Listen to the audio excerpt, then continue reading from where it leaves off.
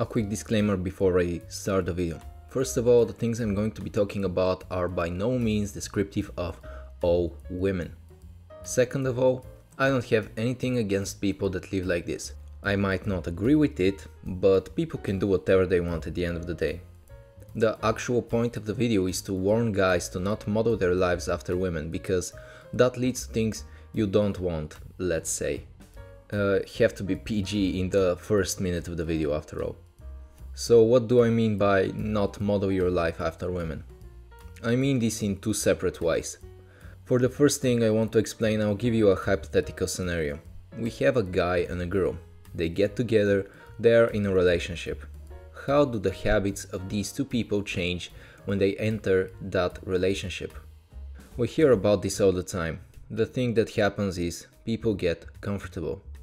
They think to themselves, okay, I've put in some work, now I've got what I wanted, time to do nothing all day and be a slob.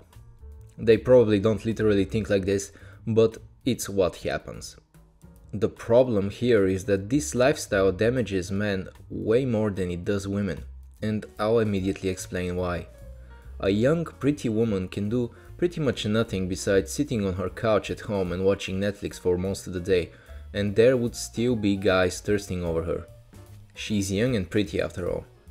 If she's not all that attractive, there would still be a ton of guys who are interested. It's just how the dynamic between the two genders is these days. Now compare this to when a guy has the same lifestyle. I can tell you from first-hand knowledge that if a man isn't taking care of himself, if he's not putting in the work, he will struggle to get women to even acknowledge his existence. This lifestyle might be hurting women a little bit, but it destroys men. A man who is doing nothing but sitting on his ass and playing video games and jacking off will be in 99% of cases disgusting to women. Maybe if you naturally look like a Chad, women would still be okay with sleeping with you, even if you lived like this. But that's where it ends.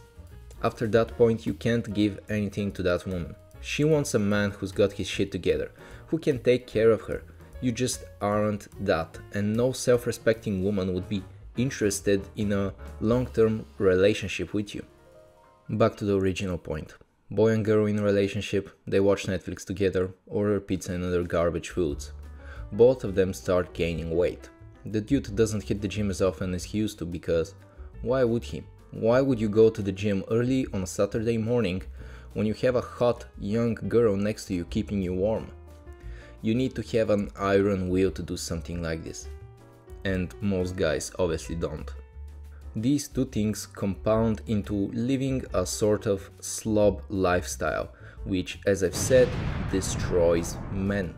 Do you know what the range of body fat percentages considered most desirable by women is?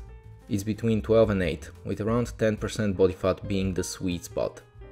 What does this range look like for women? It's around 18 to 25, literally double of what the ideal is for a man. And you can take into consideration the fact that a ton of men like thick women, which means you can extend this up to 30% even. This is because of the way men and women typically store body fat. The first four areas to gain adipose tissue in women are the ass, breasts, thighs and hips in some order. Literally all the right places. Do you know what these areas are for men?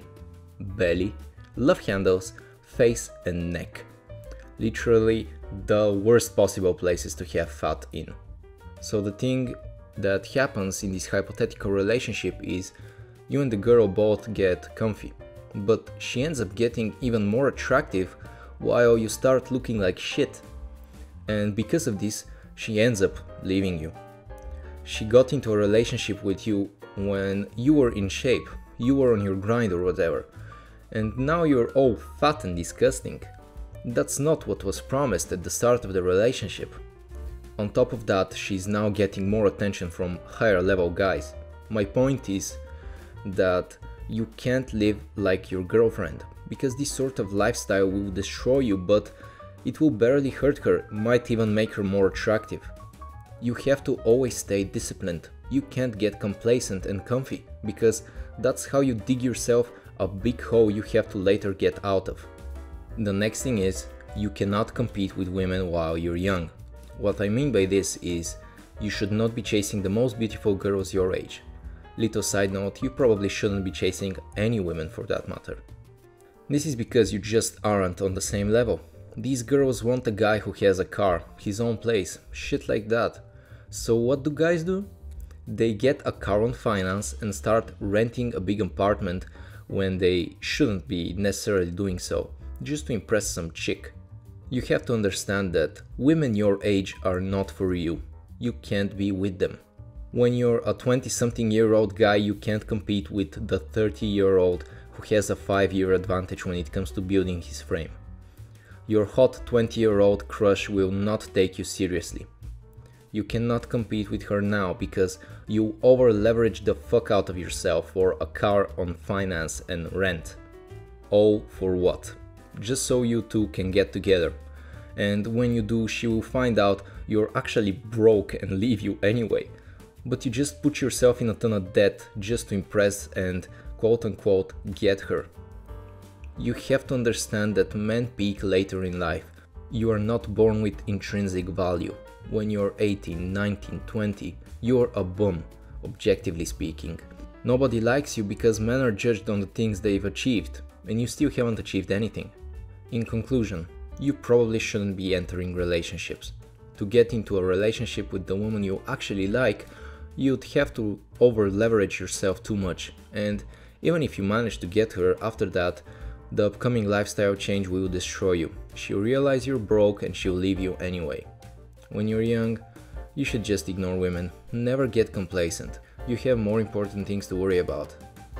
That's it for the video. If you want to see more content from me, subscribe to the channel. Thanks for watching and have a nice day.